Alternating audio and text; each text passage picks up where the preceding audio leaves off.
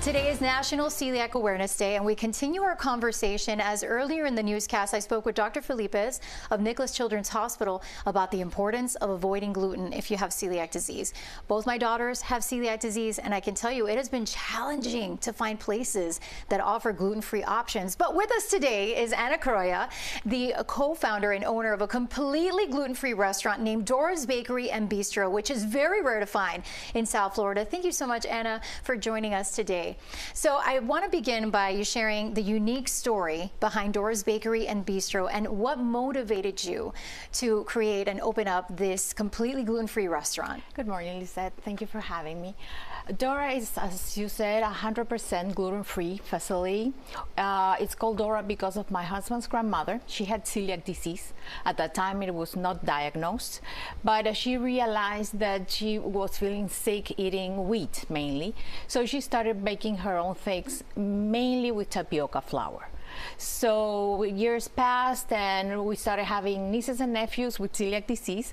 They were coming here to the US and I realized that I had nothing to give them because in my house there was nothing. In the supermarket the offer was very small and I didn't like the things I tried. So I started baking for them. So that's how the idea of the business came to open a 100% gluten-free place. I love that story. And, you know, I wanted to ask you, what are the measures that you take in your restaurant to ensure that everything is 100% gluten-free? Okay, the first thing you have to read all the labels. Absolutely. Keep using always the same brands that you know already. They, they have no problem.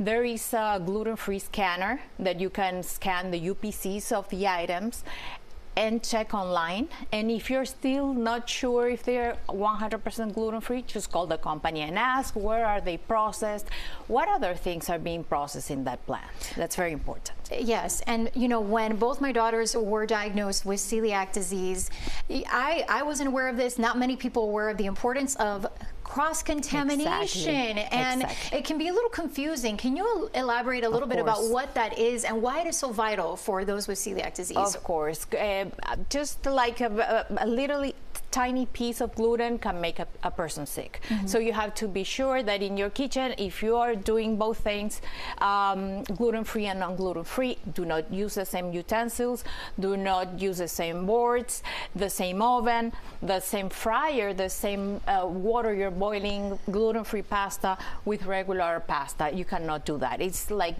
doing nothing and always wash your hands between handling gluten and non-gluten.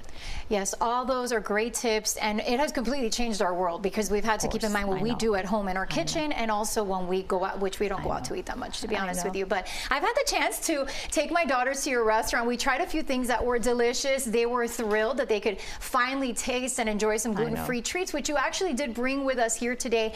What are some of the options, tell us, that you offer at your restaurants? Because oh. everything looks so yummy. Okay, very fast. Here we have cookies. In this case, we also have vegan, a vegan cookie and vegan vegan truffles. Okay, we do have some vegan and uh, dairy-free options for people who cannot have eggs or uh, milk. Oh, that's wonderful. Then we have uh, frozen desserts. We do have a, a, frozen section that you can take right. things. These jars are, they look yeah. so good. I we mean, have, have tiramisu, cheesecakes. Right. I see um, cake pops. You have cake pops ideal for birthday loaves, brownies. But, but, but let's talk about the croquetas, okay. please, because I mean, this is a challenge know, that we've had for my daughters empanadas. I know, I know. You can, I mean, you can barely find something like no, this no, gluten-free. No, no, Of course, it took us months to develop the recipes. I, I can't imagine. yes, it the is. croquetas was thank very you, by the way. You're very welcome. And then thank sandwiches. You. Bread is a big deal for people that cannot exactly. have gluten. We have our own bread. We make it with our own uh, flour mix. This, in this case, this is a croqueta preparada. very Miami. Wow. So you can come to Miami and have a croqueta ah. preparada. That's amazing. Thank you, Ana, for joining us today Thank to you tell so much us for having me. Yeah, to tell Thank us more you. about your restaurant, Dora's Gluten Free Bakery and Bistro. Whether you have celiac or you have gluten intolerance, sensitivity, or you just want to enjoy some wonderful food, Dora's is located in Coral Gables, off of A Street and 38th Avenue. It's open Tuesday through Sunday, and we again thank you, thank Ana, you. for coming and thank sharing you. the story of Dora's Bakery and Bistro.